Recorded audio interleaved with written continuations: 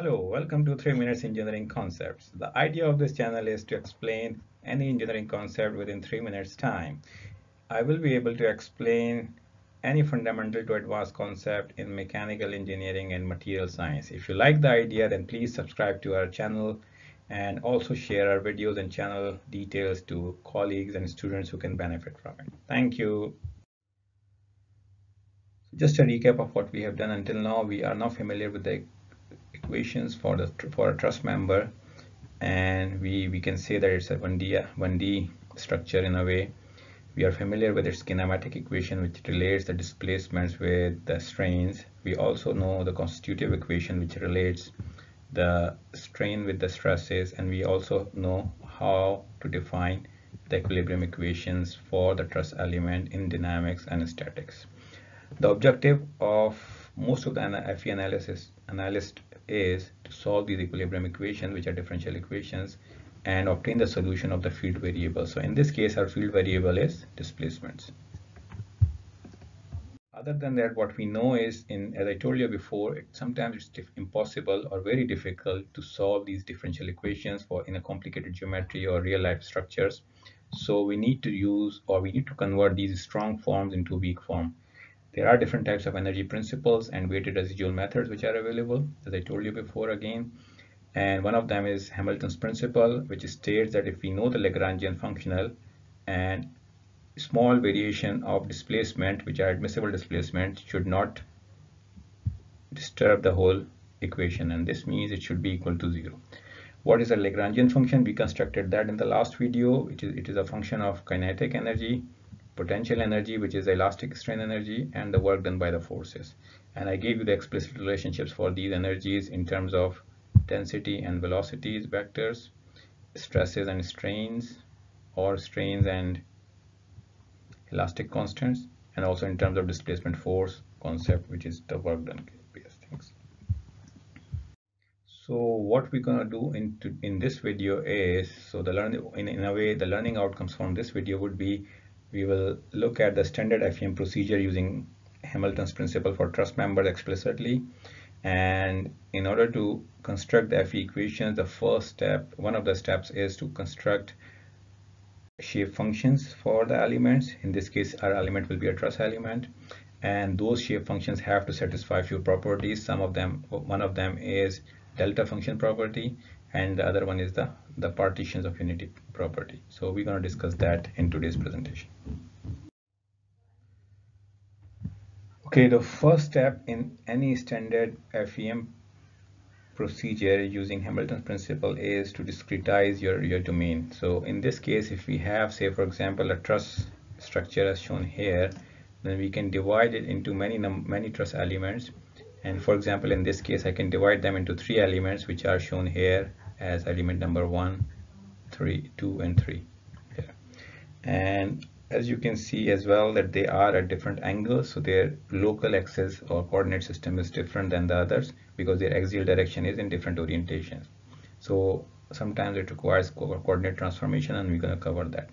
But at this point just understand that we divide the geometry into small elements and in this case we are dividing them into smaller truss members or truss elements. So in this case we can say any element and or in in the, in the current problem we have three elements in, in a way. The, pro the problem the procedure of doing this is called meshing in FE, FE world and it's generally is a type of pre-processing action which is taken to, to really divide your domain into smaller elements an element is formed by connecting its nodes. So you have nodes at the corners. So for example, element number one here, this one has node 1 and node 2. Similarly, element 2 has node 1 and node 2 and element 3 has node 1 and node 2 which are localized node or which are their own node numbers. While we can also have a global noding node numbering in which we can say that node 1 is common in element 1 and 2, node 2 is common for element 3 and 1 and node 3 is common or node 2 is common in element 3 and 2 so again node numbering is also very important and it, and it really helps when you are assembling the global equations because you have equations for each element and then you need to assemble them together which we again will cover later on. So first thing is just divide the geometry into different meshes or perform meshing operation so in this case what what i'm trying to do here is i just take one element from the the previous figure and i denote it as this one. And in this case the length of element is le it has two number of nodes. Node number one is here here and node number two is here. And we assume that the coordinate system is such that the x is basically along the axial direction or along the length of the bar or truss element so this is the first thing we do.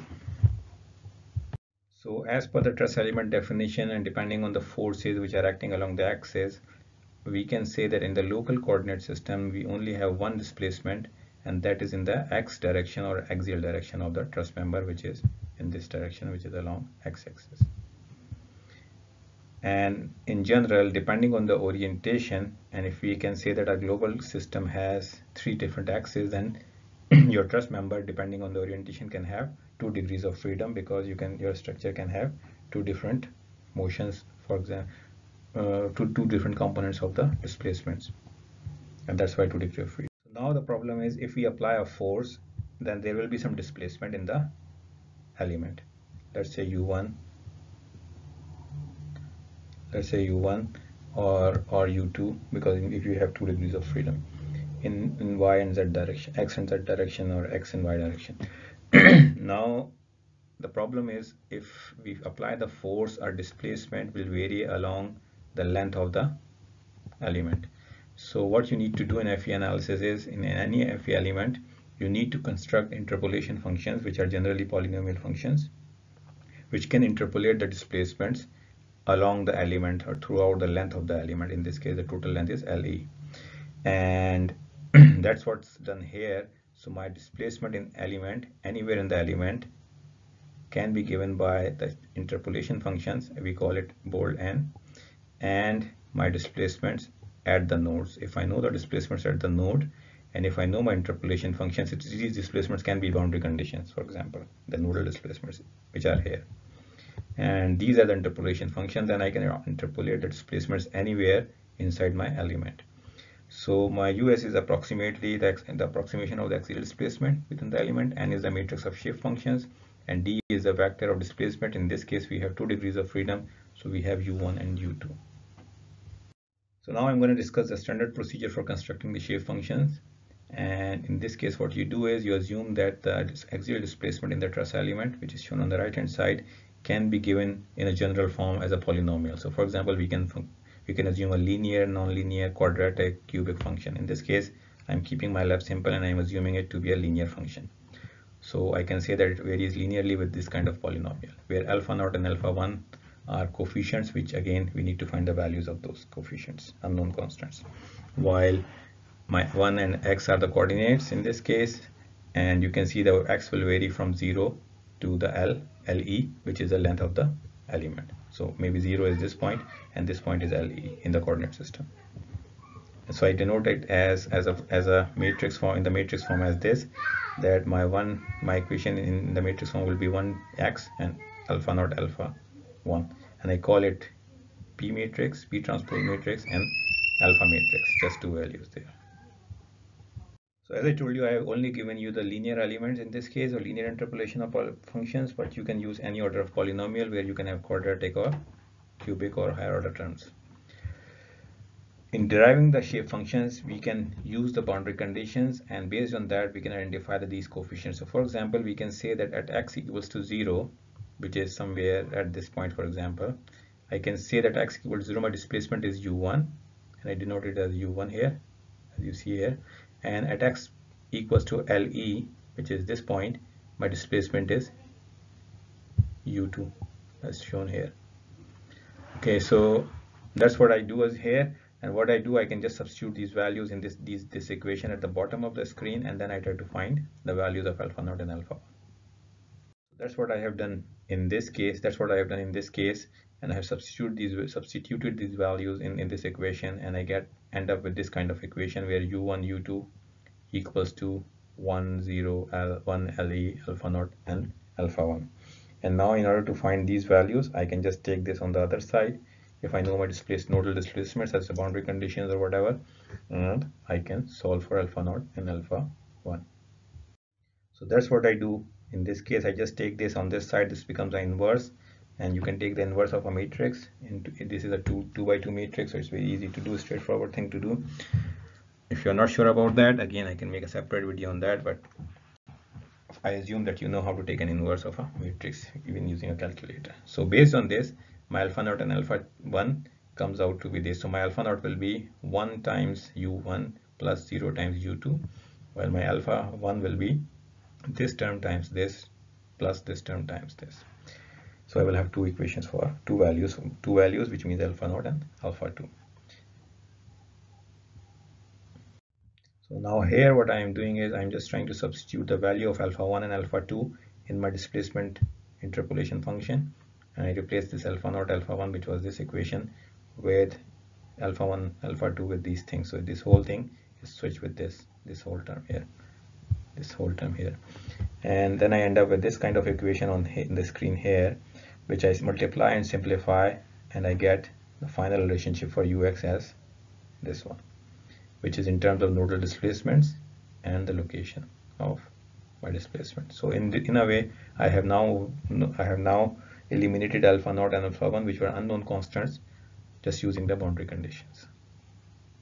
So as you can see my displacement function in an element looks something like this where my first part of this matrix is my shape function shape function matrix while these are the displacement matrix at the nodes.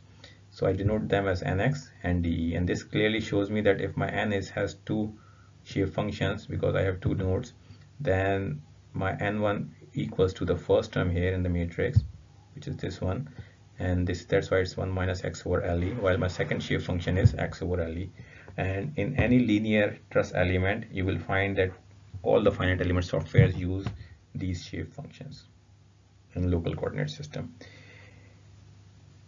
As I told you before it is very important that any shape functions whether it's for truss elements 2d elements or 3d elements or solids they have to they have to satisfy two conditions. The first one is called the del delta function properties and the other one is called the partition of unity what is what is meant by partition of unity and delta shape function is that any shape function at its own node for example n1 at node 1 will have a one value while it will be zero at all the other nodes. So if you have two in this case we have two nodes but if you have like 10 nodes even then this shape function whatever file value it has it should have a value of 1 at its own value at its own node while it should be 0 at the other nodes. And you can see the same for n2 so n2 is 1 so I'm just trying to find the pointer here. N2 is 1 at its own node which is node 2 here and it is 0 at the other node. So so this means my